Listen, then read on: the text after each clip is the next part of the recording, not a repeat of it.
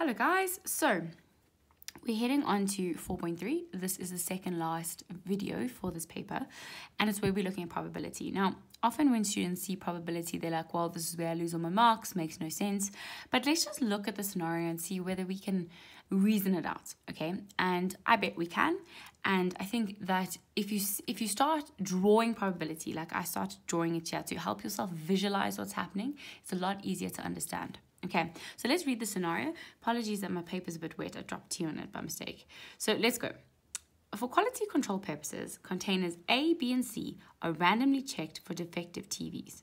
Okay, so I've drawn these containers. There's A, there's B, there's C. I granted my drawings are not the greatest, but that is what I've done. Okay. Then it says if one in every 60 TVs is defective, and the probability of finding a defective TV in any of the containers is equally likely, right? So it's not saying all the defective TVs are put into C or in A or in B. It's saying basically the defective TVs you're equally likely to find one in A, B, and C. Right. Okay. And it says determine the probability of picking a defective TV in container A. So now the probability, right, I'm going to say the probability of D, probability of def, right, of defective is 1 in 60. They literally say that to us. If 1 in every 60. So that's the probability of being defective. But what is the probability of choosing container A?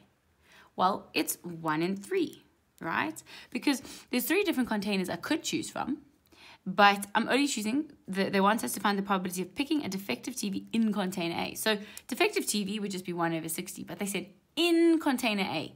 So it is 1 over 3. So it's saying both of those things have to happen, right? And remember what I said in the previous video on probability, if you've watched that one, I said when things have to happen together, right? They have to happen together. It's like a big and we have to times the two probabilities. Okay, so we times the probability of defective times by the probability of choosing container A. So we put that into our calculator. Again, I know I say this a million times, but just make sure you type it in correctly, guys. You really don't want to be losing marks for that. Okay, so it's 1 over 180. So you can put this into a decimal form if you want, but it's like kind of a weird one to write out because it's really small. Okay, um, and remember with probability, right? When you're talking about probability, you should always be between 0 and 1.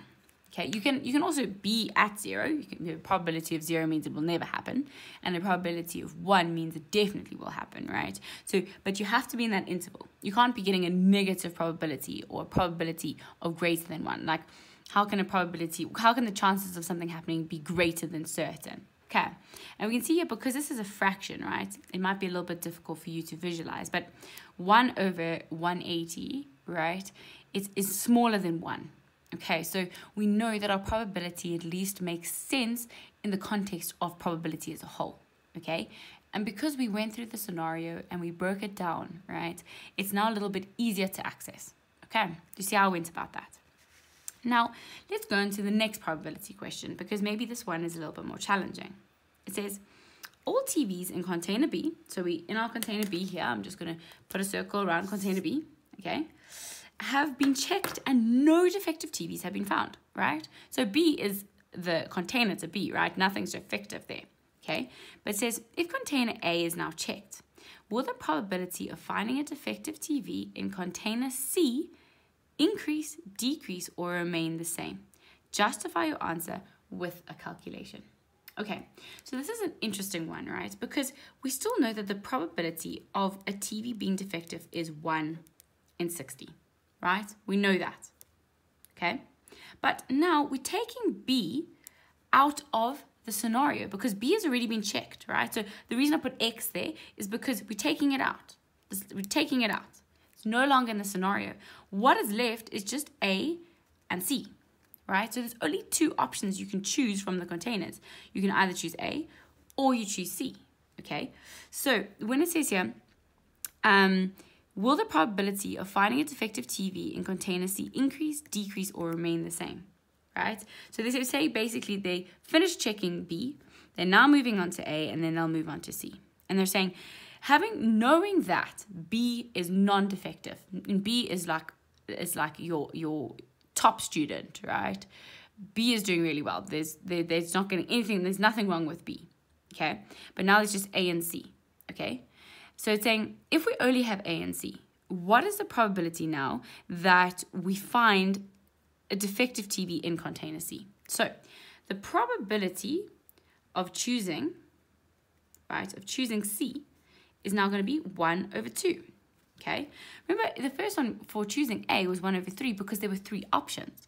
But now there's only two options because B is taken out of the whole equation. Okay, so what is our probability going to be here? It's going to be 1 over 60 times 1 over 2, right?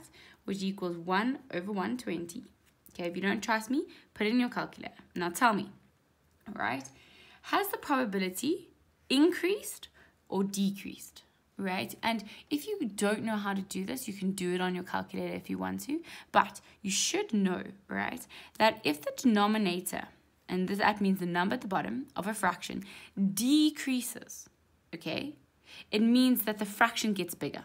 Okay, let me just quickly show you that, right? So if I say 1 over 2, that means half, right? That means it's the same as a half. You can check on your calculator if you don't believe me. If I say 1 over 4, it is 0 0.25. So you see my denominator has gone up. Therefore, this value has gone down. Okay, that's a little relationship I want you to remember. Okay, so here, because my denominator has gone down, right, my probability has increased. Okay, my probability is just the decimal version of this, right? This is actually still a probability.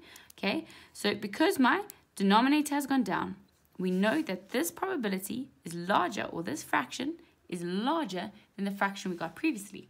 Therefore, we say the probability increases, right? That you will find something defective in container C. So you can say probability increases. Okay, so this is sometimes quite a difficult one to wrap your head around. But again, that's why I say try to visualize it, try draw it, use colors if you want to, and and think about the relationships that you're actually trying to represent. Okay, I hope that was helpful. We're now going to move on to our very last question for this paper. Okay.